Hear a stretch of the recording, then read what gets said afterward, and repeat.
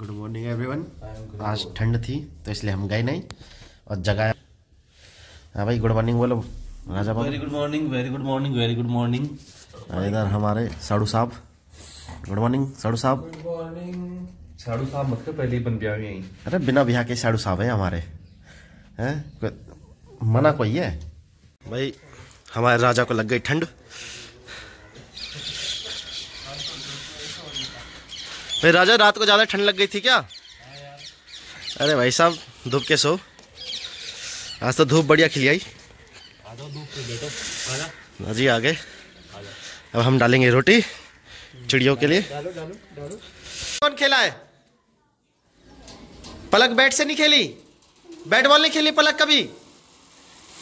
चलो हाथ नीचे। बॉल से कौन कौन खेला है? अच्छा बॉल से सभी खेले हैं। ठीक है। और लूडो कौन कौन खेला है?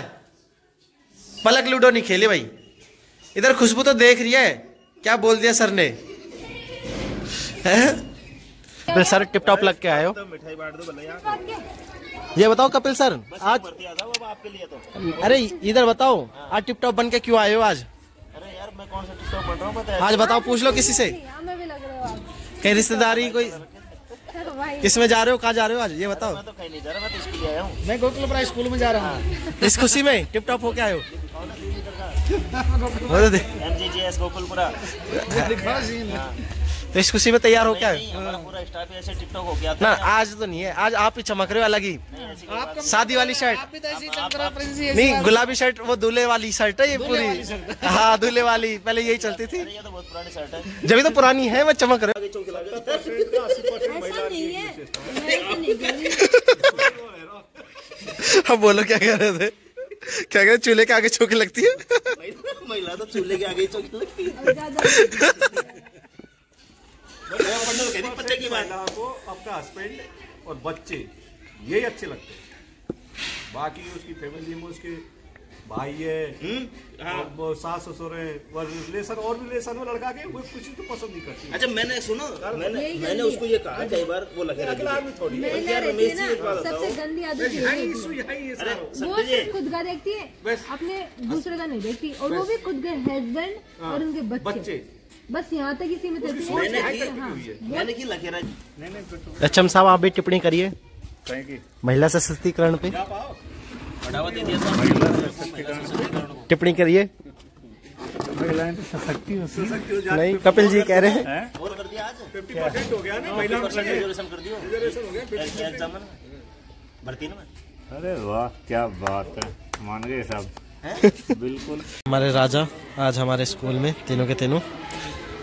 आज खेलेंगे वॉलीबॉल मैच बढ़िया शानदार। क्योंकि टीम पूरी है आज। हाँ भाई राजा खेलोगे नहीं खेलोगे? बिल्कुल। बस। तो हम 21 वुमेन के बदले अगर 14 लिख देंगे तो नहीं होगी। यहाँ पे क्या लिखना पड़ेगा फिर आपको? 14 वुमेन फिर आप सॉल्व करोगे तो बन जाएगा। ये काम कर सकते हो हिमांशी। गुड मॉर्निंग एवरीवन हम तो जग गए।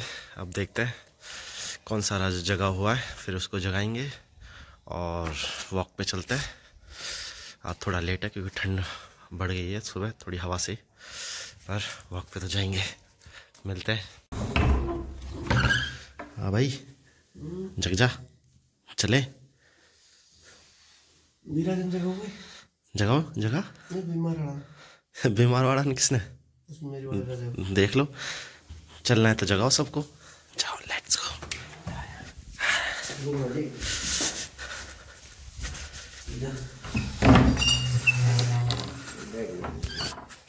लाइट जलाओ लाइट जलाओ आजा आजा भाई दूर तो हाँ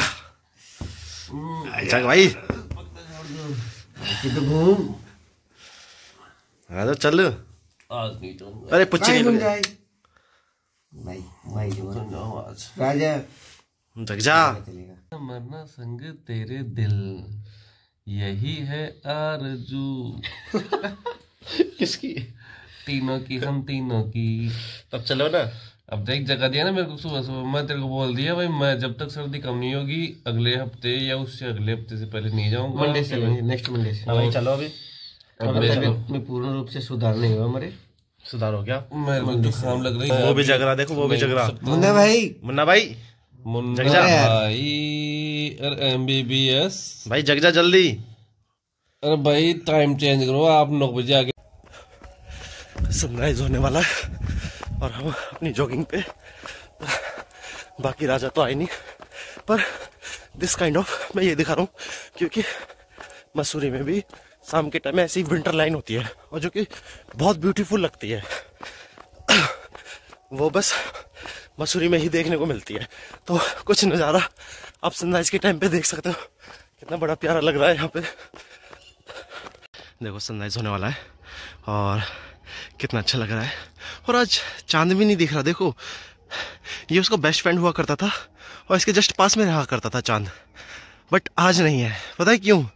क्योंकि कल प्रपोज डे था और शायद किसी ने उसको प्रपोज कर दिया और ले गया अपने साथ बेचारा उसका दोस्त। अब अकेला हुआ है, यहाँ पे सो सैड ऐसे होता है दोस्तों के साथ। उनके दोस्तों को कोई और पटा के ले जाता है। देख रहे हो भाई? धोखेबाज। ये देखो सनराइज के टाइम पे बालाजी मंदिर में कितना अच्छा लग रहा है। सुबह सुबह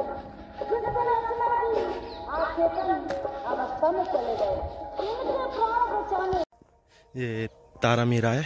आ, ये भी एक सरसों की तरह मतलब तेल निकालने के काम आता है इसका बीज भी। और दिखता भी सरसों की तरह बट होता बहुत छोटा पेड़ है इसका। और आप देखो कितना अच्छा लग रहा है येलो येलो पूरे खेत में क्योंकि ये तारा मीरा बो रखा है इस भाई ने अपने खेत में।